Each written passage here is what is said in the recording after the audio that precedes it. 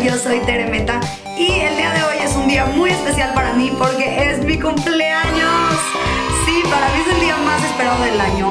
Hay muchísima gente que no se le hace tan importante su cumpleaños, que de hecho les da pena decir hasta su edad y no les gusta que nadie se entere. Bueno, conmigo pasa todo lo contrario. Para mí es un día para celebrar, que me encanta compartir con la gente que quiero, con mi esposo, con mis amigas, con mi familia, con todos, ¿no? Me encanta porque me despiertan desde que amanezco con un pastel y obviamente como es un día lleno de actividades sociales, me gusta verme guapísima desde que amanezco hasta que me voy a dormir. Entonces, si para ti tu cumpleaños también es un día tan importante como para mí, te acompaño a compartir conmigo este día tan especial y a empezar este tutorial. Voy a empezar preparando mi piel con este primer de la marca Girl Lane. Este es Leor. Y está muy padre porque tiene partículas de oro literalmente. Entonces cuando la aplicas nos ayuda a que la piel se permanezca mucho más hidratada gracias a estas partículas. Voy a aplicarlo tal cual como si fuera una crema facial en todo mi rostro y difuminarlo con mis manos. Recuerda que es muy importante también llevarlo al área del cuello.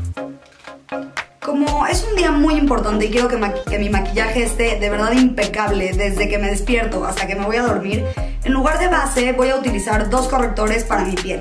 Voy a usar los Born This Way y voy a utilizar el tono Nude y el Warm Beige, que en total los dos, este me va a ayudar, que es más clarito, a iluminar las áreas y el otro me va a funcionar como si fuera una base.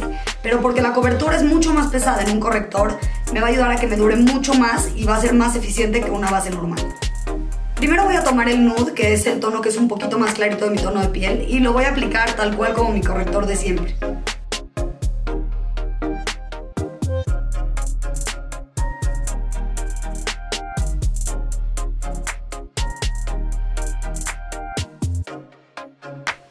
Y ahora voy a tomar el tono que es un poquito más oscuro, en mi caso es el Warm Beige, y lo voy a aplicar en el resto de las áreas de mi cara, tal cual en las áreas donde se quedaría nada más mi base.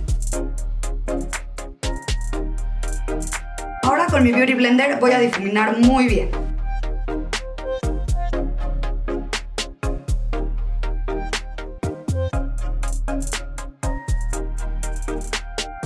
Ahora voy a tomar mi contour stick, este es de la marca Benefit y es el ULA. Y me gusta mucho porque es un contour en barra, entonces facilita muchísimo el proceso y no tenemos que estar agarrando de una paleta, entonces súper fácil. Lo voy a aplicar en las áreas que quiero sumergir de mi rostro.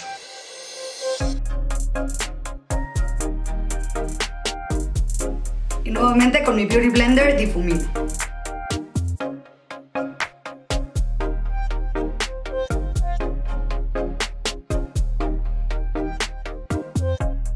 Ahora voy a tomar este setting powder, este es un polvo translúcido que me va a ayudar a hornear el rostro. Este es de la marca Huda Beauty y es el tono Banana Bread. Voy a aplicar este polvo únicamente en las áreas estratégicas donde sienta que me suda más la cara. En mi caso es abajo del ojo, en el puente de la nariz y en la frente. Y también en la parte inferior de mis mejillas. Tienes otra área, además de esta, donde también sientes que se te acumula mucho sudor y mucha grasita, aplica también este polvo y vas a ver como de verdad es una maravilla. Como es un polvo para hornear, debo dejarlo actuar unos minutos. Entonces en lo que esto se hornea voy a pasar a mi ceja. Como siempre, para delinear mi ceja voy a usar la Deep Brow Pomade en tono chocolate de la marca Anastasia Beverly Hills, como ya lo sabes. Recuerda primero cepillar de forma ascendente los vellitos de la ceja.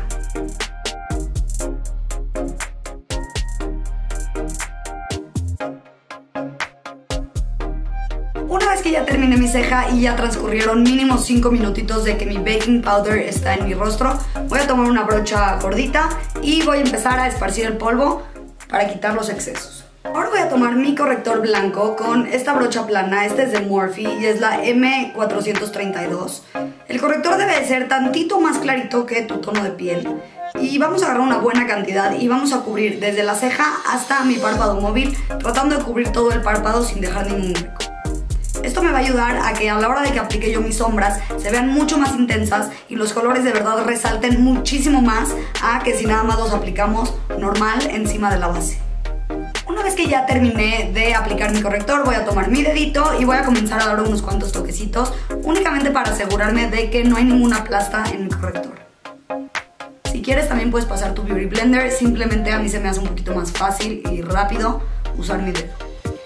Voy a tomar mi paleta de sombras de Huda Beauty. Esta es la Desert Dusk Palette.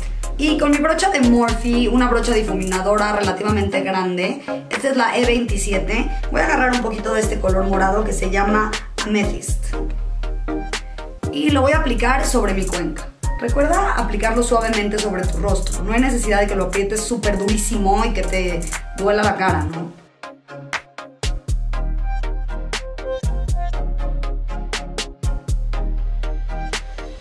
Tomar una brocha un poquito más pequeña. Esta también es de Morphe y es la E17.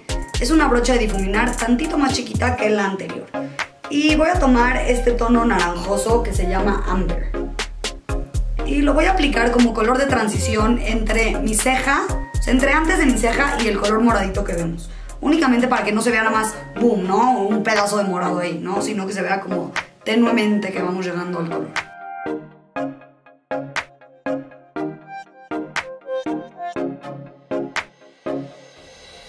Regresar a mi color morado, al que se llama Amethyst. Y voy a agarrar una buena cantidad y lo voy a aplicar en la parte inferior de mis pestañas. Ahora voy a tomar este tono que se llama Cosmo con el dedito de mi mano porque como tiene glitter es mucho más fácil que se deposite el producto bien si lo hacemos con los dedos o con una brocha. Entonces vamos a hacer el intento.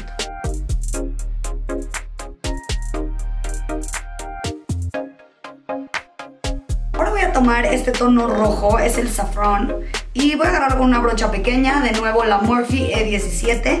Voy a agarrar una buena cantidad para aplicarlo en mi lágrima. Ahora voy a tomar este delineador negro, este es de Stila y es el Stay All Day Waterproof Liquid Eyeliner. Y me gusta porque es en forma de plumita, entonces es muchísimo más fácil su aplicación. Y lo que voy a intentar hacer ahorita es un delineado de gato, este, lo más cerquita a mi línea de pestañas que pueda.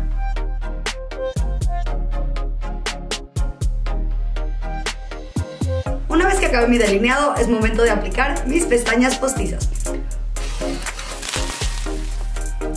Voy a tomar mi paleta de Urban Decay, esta es la Naked Flush, y voy a tomar el color rosita de acá con mi brocha de Real Techniques y voy a sonreír muchísimo y aquí donde se hacen estas pelotitas es donde va el blush rosa.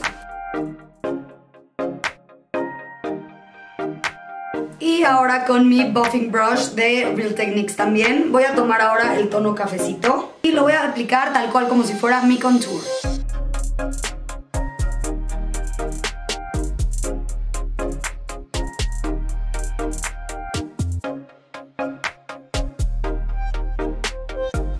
Y ahora para iluminar voy a tomar este color de adentro con esta brocha de Oriflame que es una brocha de abanico. Está muy buena esta paleta porque en una sola ya tienes tu blush, tu bronzer y tu iluminador. Entonces la realidad es que solucionas muy fácil el problema de no estar teniendo tantitas, tantas, tantas cajitas, ¿no?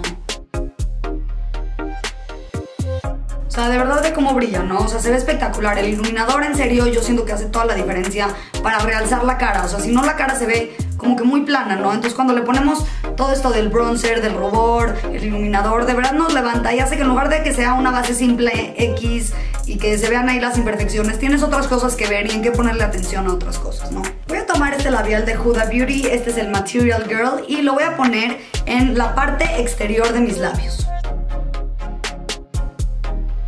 Y ahora voy a tomar este labial como rosa magenta, que este es de la marca Glam Beauty y es el tono 11. Y también es un labial mate. Y lo voy a aplicar en las áreas donde me está faltando color en el labio, que es la parte interna. Ahora voy a darle unos cuantos toquecitos con mi dedo para asegurarme de que se difumine muy bien y no se vean plastas. Bueno guapa, eso fue todo por hoy. Espero que te haya gustado muchísimo este tutorial, así como yo disfruté hacerlo para ti. Recuerda que siempre es importante desear por cosas que queramos y ser específicos en lo que deseamos. Muchas veces decimos, no, pues quiero tener un trabajo de sueño, ¿no? Pero no eres específica, a lo mejor quieres un trabajo que sea, no sé, de medio tiempo o que tenga un muy buen sueldo. Y si no deseamos exactamente por lo que queremos, te va a caer un trabajo, pero no va a ser el trabajo que quieres. Entonces tenemos que ser siempre muy, muy específicos con lo que deseamos. Yo en mi caso llevo anotando durante todo el año qué es lo que quiero desear cuando tenga que apagar esas velitas. Y bueno, te dejo de tarea que para ti también, que va a ser tu cumpleaños en este 2019, tengas en mente ya qué es lo que quieres pedir, qué es lo que quieres desear para que el mundo te lo regale. Recuerda que si te gustó este video, pero no tienes mucho tiempo de verlos tan largos, también está mi Instagram en línea que es arroba teremeta, donde puedes encontrar videos miniaturas que te explican perfectamente bien también mis maquillajes. Y también mi nuevo blog ya está en línea que es www.holaguapa.mx. Muchísimas gracias por verme. Happy birthday to me. Les mando muchísimo amor.